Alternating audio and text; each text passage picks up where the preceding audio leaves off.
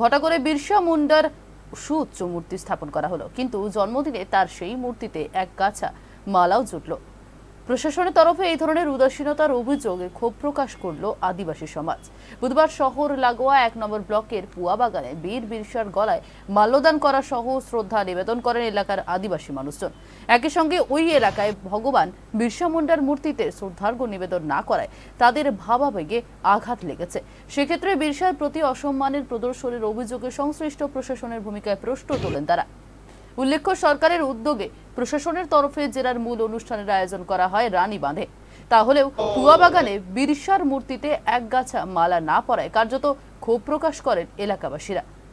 জানা গিয়েছে যে তবে এই ব্যাপারে প্রশাসনের তরফে কোনো প্রতিক্রিয়া এখনও পর্যন্ত মেলেনি।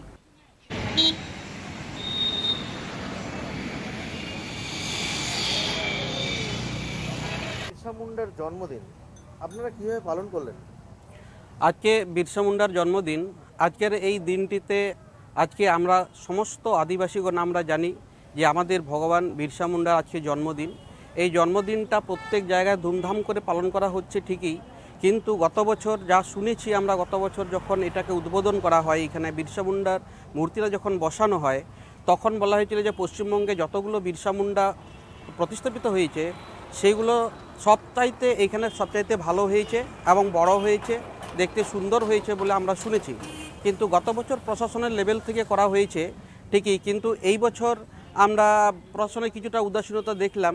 তো আমাদের সেক্রেটারি মহাশয় আমাদেরকে ফোন করেছিলেন অবশ্যই।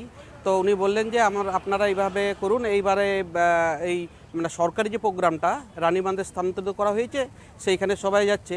তো আপনি যেটা বলছেন, আমরাও সেটাই, সেটাও ভাবছি যে যে এখানে একটু মালা ব্যবস্থা যদি করা হতো প্রশাসনের পক্ষ থেকে সবচাইতে ভালো হতো। তবু আমরা ইয়া পিছু পা নই আমরা যে আমাদের যেহেতু আদিবাসীদের, বিরসা মুন্ডা যে আমাদের আদিবাসীদের ভগবান এটাকে আমরা টিকিয়ে রাখার জন্য আমরা সবাই সমাবেত হব।